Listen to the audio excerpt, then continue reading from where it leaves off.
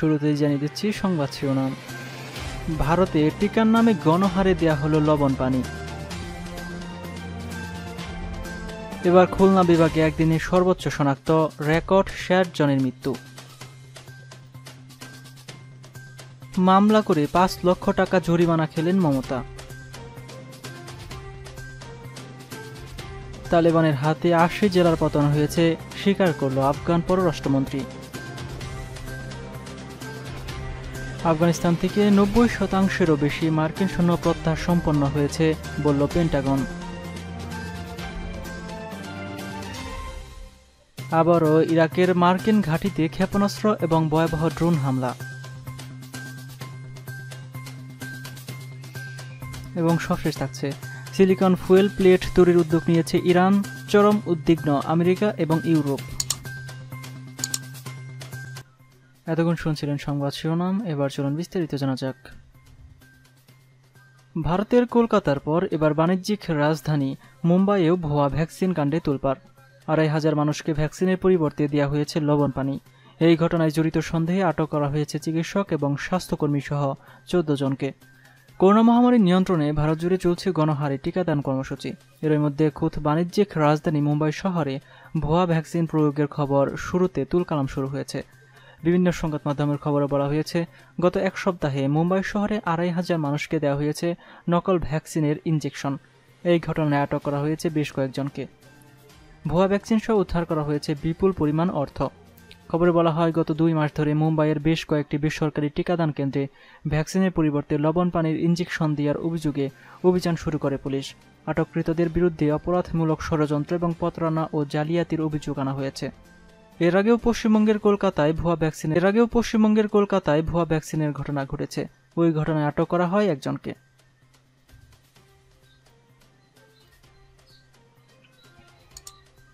Corona ভাইরাসে খুলনা বিভাগে আক্রান্ত এবং মৃতের সংখ্যা যেন থামছেই না।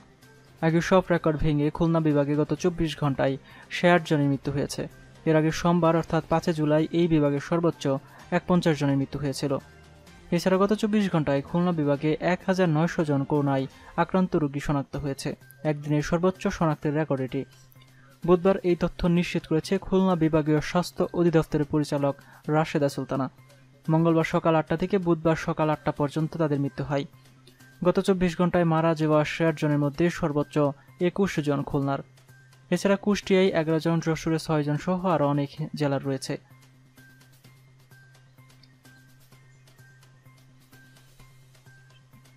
পশ্চিমবঙ্গের আলোচিত নন্দীগ্রাম মামলা থেকে দাঁড়িয়েছেন কলকাতা হাইকোর্টের বিচারপতি কৌশিক চন্দ্র।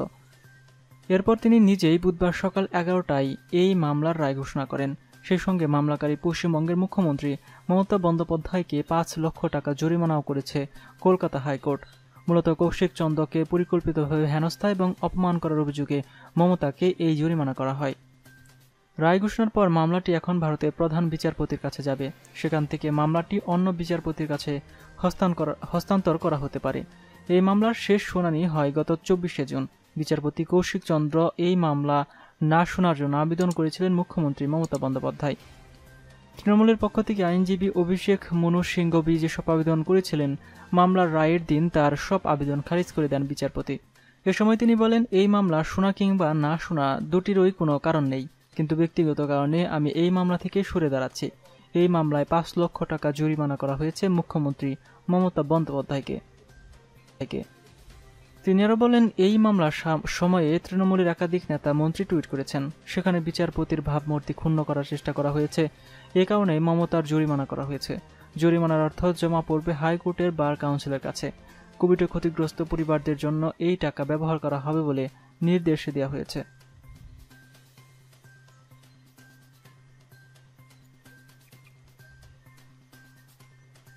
আফগানিস্তানের বিভিন্ন স্থানে তালেবানের সঙ্গে সরকারি বাহিনীর সংঘর্ষ ছড়িয়ে পড়ার একুশ সময়ে দেশটির সরকার অন্তত আশি জেলা নিয়ন্ত্রণ হাতছাড়া হয়ে যাওয়ার খবর নিশ্চিত করেছে।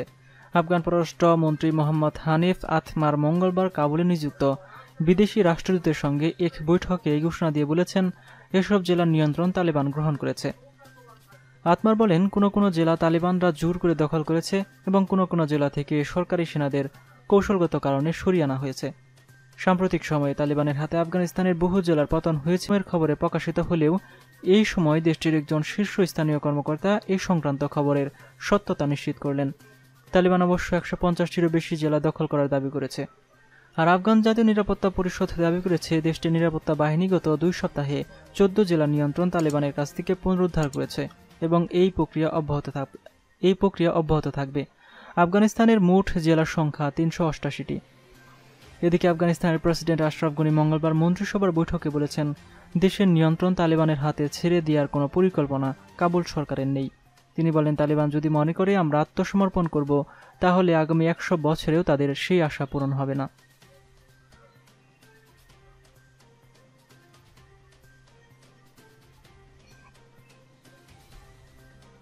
আফগানিস্তান থেকে ইতিমধ্যে নব্বই শতাংশেরও বেশি মার্কিন সেনা প্রত্যাহার করে নেওয়ার কাজ সম্পন্ন হয়েছে।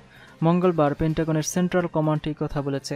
সেন্টকম জানায়, সেপ্টেম্বরের সময়সীমার আগে সেপ্টেম্বরের সময়সীমার আগেই সৈন্য প্রত্যাহারের কাজ শেষ করতে তারা আফগান নিরাপত্তা বাহিনীর কাছে সাবেক সাতটি মার্কিন ঘাঁটি আনুষ্ঠানিকভাবে হস্তান্তর করেছে। তারা সেখান থেকে অধিকাংশ মামলাও সরিয়ে নিয়েছে।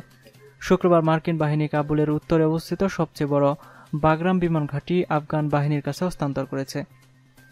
গত দুই দশকে সংঘাতের অধিকাংশ সময় এই বিমান ঘাঁটি ছিল আফগানিস্তানে মার্কিন সামরিক অভিযানের পরিচালনার প্রধান কেন্দ্র। মঙ্গলবার ঘোষণায় জোর দিয়ে বলা হয়েছে, প্রেসিডেন্ট জো বাইডেনের নির্দেশ মতো মার্কিন সৈন্য এবং বেসামরিক নাগরিক প্রত্যাহারের অধিকাংশ প্রক্রিয়া গত এপ্রিলে সম্পন্ন করা হয়েছিল।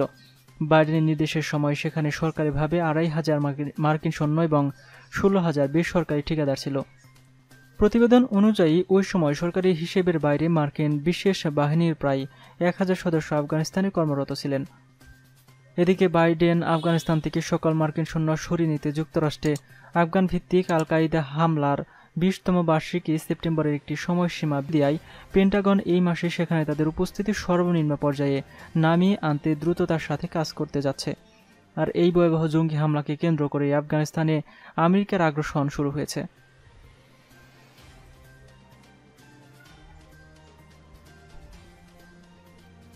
ইরাকি কুর্দিস্তান অঞ্চলের ইরবিল শহরে বিমানবন্দরে ক্ষেপণাস্ত্র এবং ড্রোন হামলা চালানো হয়েছে। বুধবার ভোরে ওই বিমানবন্দরের অন্তত বিশটি ক্ষেপণাস্ত্র আঘাত হানে। সেখানে মার্কিন সেনাঘাটি লক্ষ্য করেই এইসব হামলা চালানো হয়েছে বলে ধারণা করা হচ্ছে। ইরাকের সাবরিন নিউজের একটি প্রতিবেদনে বলা হয়, ক্ষেপণাস্ত্রের পাশাপাশি বিস্ফোরক বোঝাই ড্রোন দিয়েও ওই বিমান ঘাঁটিতে হামলা চালানো হয়। এসব হামলার পরপরই বিমানবন্দরের সব কার্যক্রম স্থগিত করে এসব বাতি নিভিয়ে ফেলা হয়। তবে এসব হামলায় সম্ভাব্য ক্ষয়ক্ষতির খবর এখনও প্রকাশ করা হয়নি।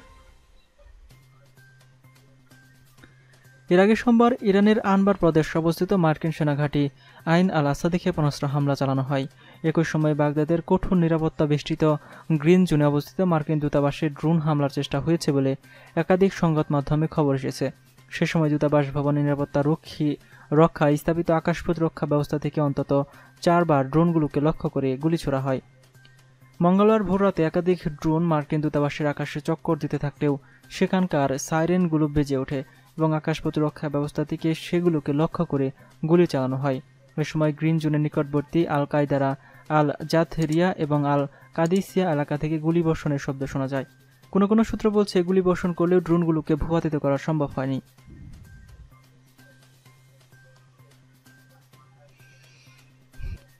ইরান শতকরা বিশ ভাগ সমৃদ্ধ ইউরেনিয়াম দিয়ে ধাতব পারমাণবিক প্লেট তৈরির যে উদ্যোগ নিয়েছে, তাকে উদ্বেগজনক বলে সংলাপে ফিরে যাওয়ার আহ্বান জানিয়েছে মার্কিন পররাষ্ট্র মন্ত্রণালয়। ওই মন্ত্রণালয়ের মুখপাত্র নেট প্রাইস বুধবার এক সংবাদ সম্মেলনে এই আহ্বান জানিয়ে বলেছেন, ইরান নিজের পরমাণু প্রতিশ্রুতি বাস্তবায়ন না করার বিষয়টিকে আরও কঠোর করার যে সিদ্ধান্ত নিয়েছে তা উদ্বেগজনক।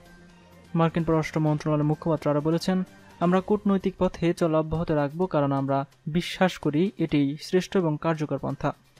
এদিকে তিন ইউরেনিয়াম দেশ, ব্রিটেন, ফ্রান্স এবং জার্মানিও একটি যৌথ বিবৃতিতে ইরানের সিলিকন ফুয়েল প্লেট তৈরির সিদ্ধান্তে উদ্বেগ প্রকাশ করেছে।